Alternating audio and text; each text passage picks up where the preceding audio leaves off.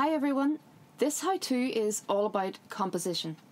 Now that's a huge topic, but today I'm going to give you a few of the rules to consider next time you compose your image.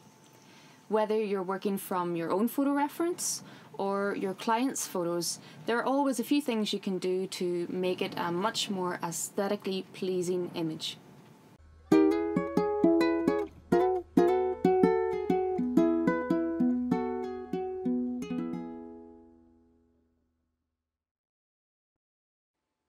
So I'll start with a nice simple one. This is the rule of thirds. And quite simply, you can split your canvas or your paper in three each way. And this can help you with uh, lining up a horizon line or where to place a main subject. In this example, uh, if you've watched a few of my videos, you'll recognize this as my intro. This is a painting I did of Belfast and you can see that the sky and the land is split into thirds using the top band of blue as my top third, the next row of clouds as my next third, and the land itself at the bottom third.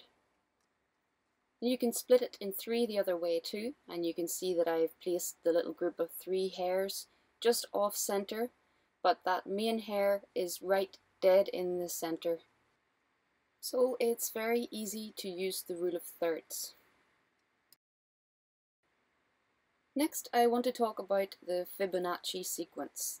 This is a series of numbers where a number is found by adding up the two numbers before it.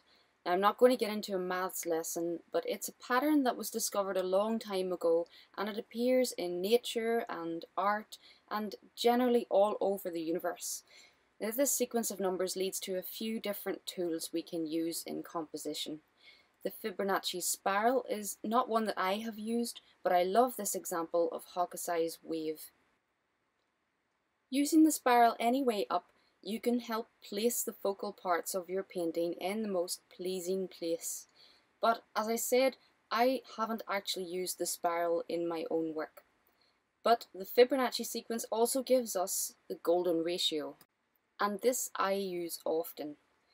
The ratio is approximately 1.618.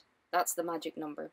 So if my painting is 10 inches tall and I want to find the sweet spot to place a horizon, to find the golden ratio I calculate 10 divided by 1.618 and that gives me 6.18 inches. So my measurement to make the horizon is around 6.18 inches. And that's it in its simplest terms and it really does work. You can see that it doesn't just work for horizons. You can use it vertically as well and you can see that it just leaves your painting looking that bit more balanced if you have this ratio within it. Next, it's the rule of odds. Now you don't always get to decide if you're doing a portrait that has two or four subjects in it, but when you can, it's always good to use an odd number of subjects. Apparently our eyes like to make groups of things and when there's an odd number it keeps us looking from one subject to the next and I find that especially in this portrait that our eye can do a nice circular motion around the three characters. So the rule of odds generally try to use odd numbers, a bit like I did with the three bunnies in the first piece overlooking Belfast. Next we have leading lines. It's always good to have some type of perspective lines within your piece. Um, this work by Gustave Caillebotte is one of my favourite pieces by him and I love the perspective he creates, leading the viewer down those streets in the distance and also wondering what that couple in the foreground are looking at but I really love his use of perspective lines, just leading your eye off into the distance. And I believe the, the bottom of the buildings, the the middle line of the painting is in around that golden ratio as well. It looks like it might be. And this is yet another Caillebotte piece, another lovely use of perspective leading the viewer down that street in the distance. And this one also brings me on to my next one which is Lines of Sight. I love how Caillebotte here has used that man with his back to us really making us wonder what he's looking at, what he's seeing out the window. And if we're talking about lines of sight, I couldn't not show Andrew Wyeth's Christina's World. I love this oil painting and I love how it takes the viewer right into the painting and up to that house in the distance. So lines of sight, a very neat trick to use within your painting, making the viewer feel really a part of it and creating a bit of mystery, taking us off into another place in the painting. And now a couple of pieces by a current artist and friend called Michelle Lucking. She also works in soft pastel. If you haven't seen her work already, go and check it out. I'm using a couple of her pieces to demonstrate the use of strong diagonals in your composition.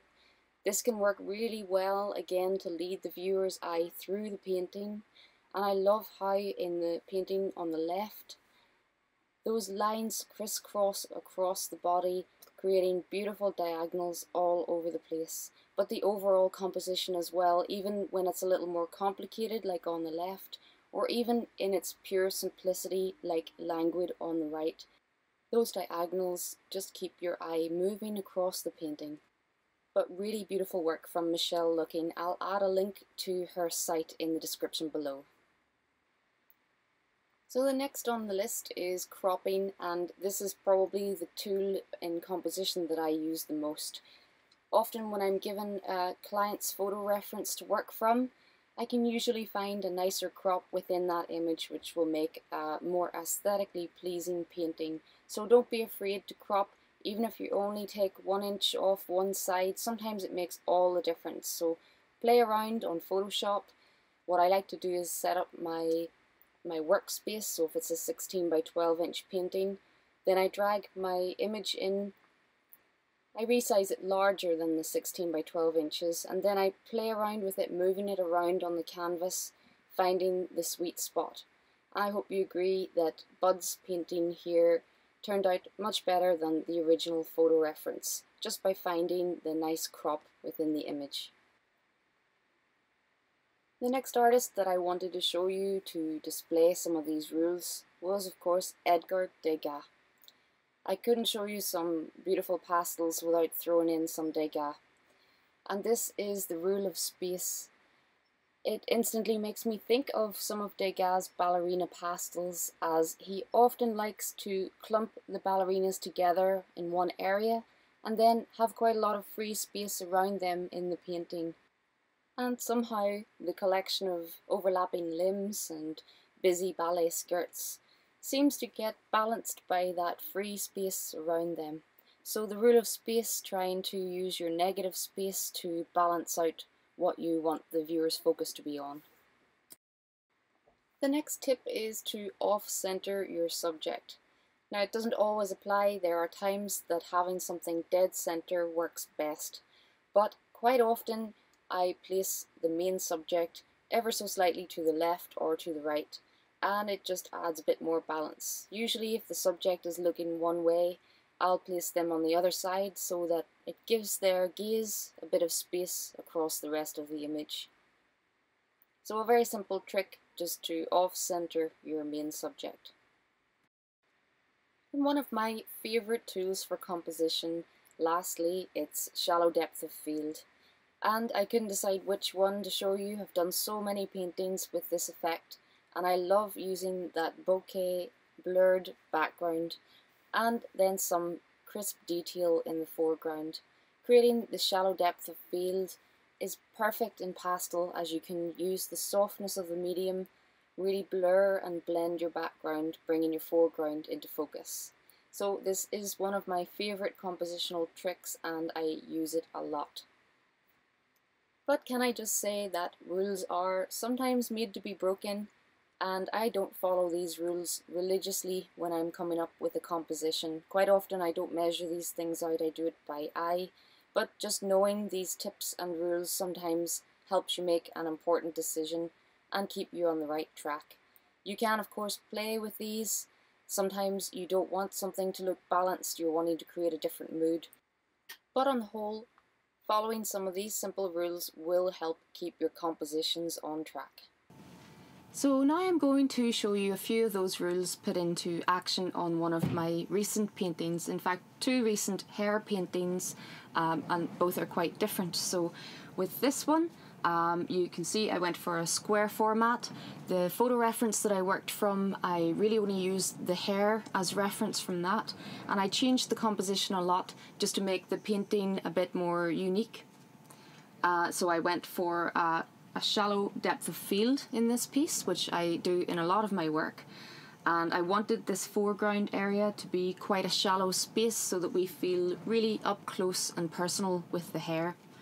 I also centered the eye of the hare so it's exactly in the center of the painting and hopefully really draws the eye of the viewer.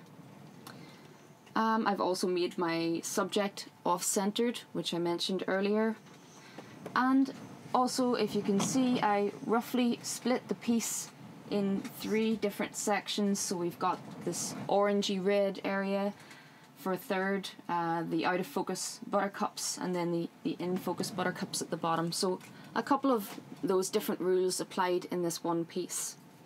And now a smaller piece that I worked on. Um, so this is quite a different composition. And you can see this time I stuck a little more with the uh, composition of the photo reference that I used. But again, I went for a nice out of focus background um, and I think it really helps the detail in the hair really pop. So I hope a few of these rules will help you when you're composing your own paintings.